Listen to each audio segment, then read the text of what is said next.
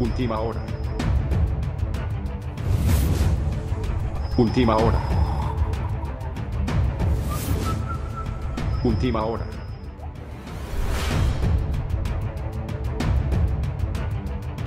¿Qué tal amigos? Feliz domingo. Les saluda el periodista Alex Espinal desde El Reportero Honduras, transmitiendo esta vez en nuestro canal en YouTube, El Reportero TV HN.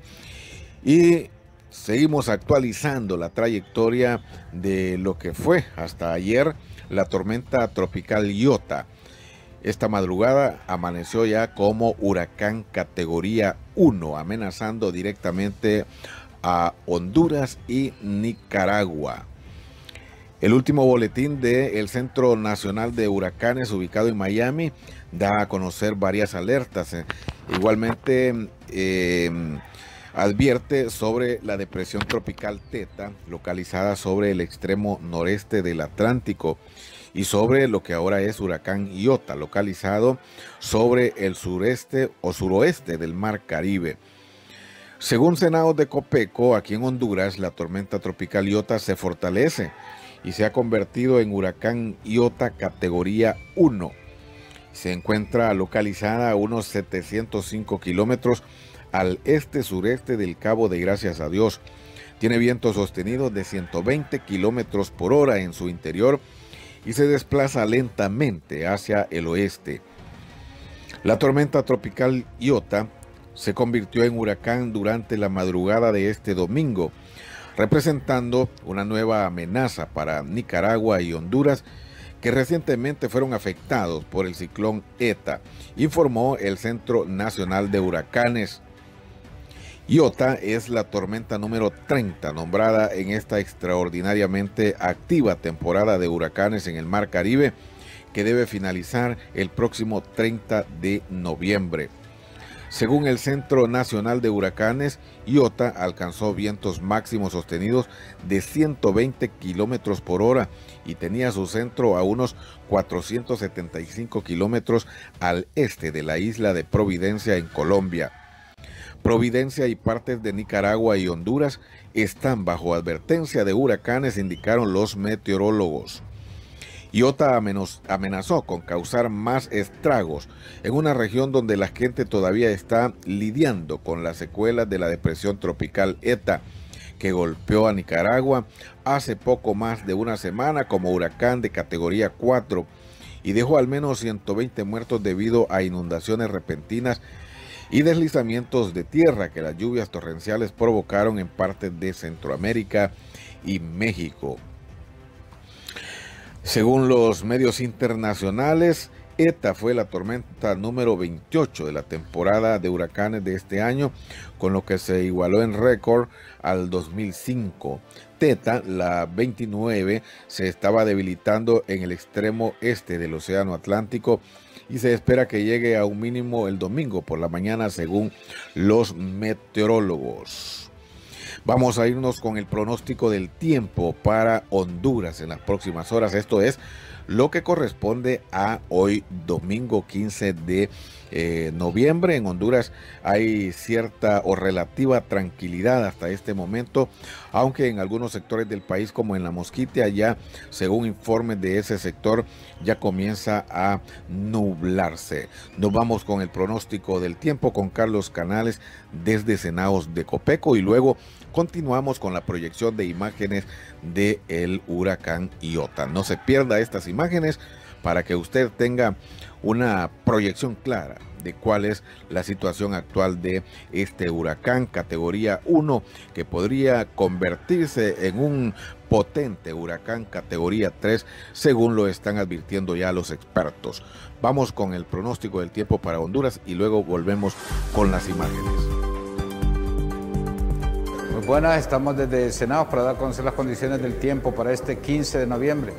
Probabilidad de lluvias y chubascos eh, leves dispersos en varios eh, sectores del país. Estas precipitaciones son producto de la entrada de humedad tanto del Pacífico como del litoral caribe. Se mantiene el desplazamiento eh, del ciclón tropical Yota hacia las costas oriental de Honduras y Nicaragua. En cuanto a las temperaturas, temperaturas máximas de 28 grados en la región insular, 29 grados en la zona del litoral caribe, 30 31 grados en el Valle de Sula, 28 grados en la región occidental, 28 grados de igual manera en la Mosquitia, 30 grados en la región oriental, 32 grados en la región sur, 28 grados en el centro del país y 27 grados en Tegucigalpa y sus alrededores. 2-4 pies el oleaje previsto en el litoral caribe, especialmente en el, en Golfo de Honduras, 6 a 8 pies en las vecindades de los bancos de pesca al este de la Mosquitia, 2-4 pies en el Golfo de Fonseca. Estas eran las condiciones del tiempo, les habló Carlos Canales. COPE Honduras, Presidencia de la República. Y estamos proyectando las imágenes relacionadas a la situación actual de el huracán Iota que se desplaza por el Mar Caribe con rumbo hacia el sector de eh, Bilwi en la costa norte del hermano país de Nicaragua. Así que a estas alturas del día, todos los hermanos de Nicaragua deben estar tomando todas las previsiones del caso porque es una alerta máxima la que se está viviendo en estos momentos y las autoridades hondureñas igualmente tienen que hacer lo propio para proteger a sus ciudadanos. Esta es una alerta que se está emitiendo desde todos los organismos relacionados con el monitoreo de este fenómeno natural que según el científico hondureño Salvador Moncada es apocalíptico lo que se avecina en torno a esta, este huracán eh, Iota que está amenazando a nuestros países. Igualmente El Salvador estaría registrando eh, el impacto de este huracán porque estaría eh, internándose en el departamento del Paraíso, atravesando también el departamento de Choluteca y alcanzando con sus bandas el departamento de Francisco Morazán y estaría eh, saliendo allá por el Golfo de Fonseca y cubriendo gran parte del el territorio salvadoreño. Esto de acuerdo a la proyección actual. Recuerden que la dirección podría variar en las próximas horas dependiendo las condiciones climáticas que se encuentran en estas latitudes. Y este domingo las autoridades de la municipalidad capitalina, encabezadas por el alcalde Nasri Tito Azfura, aquí en Tegucigalpa y, y Comayagüela, y el Distrito Central, continúan con los preparativos para hacerle frente a los posibles efectos que tendrá en el Distrito Central el fenómeno tropical Iota con la ejecución de distintos trabajos de prevención y mitigación en varios puntos de la ciudad. El personal de la comuna realiza operativos de limpieza de tragantes en la zona de los mercados de Comayagüela con el objetivo de evitar inundaciones por la acumulación de basura en ese sector capitalino. Asimismo, labora en la protección de taludes la evaluación de daños y el seguimiento de actividades de protección civil en la capital. Hasta este momento es la situación eh, actual de esta, este huracán Iota que se desplaza por el mar Caribe y mm, a estas alturas, como les decíamos, ya las autoridades, tanto centrales del gobierno central como las municipales, deben estar ya alertando a su población que lo que se avecina no es un juego. Lo que se avecina es serio y ya deben estar tomando las previsiones necesarias para eh, hacerle frente a el impacto de lo que podría ser un huracán categoría 1 o categoría 3. Esto dependiendo la variación de la trayectoria y las condiciones actuales, bien podría también debilitarse a tormenta tropical nuevamente o a depresión tropical.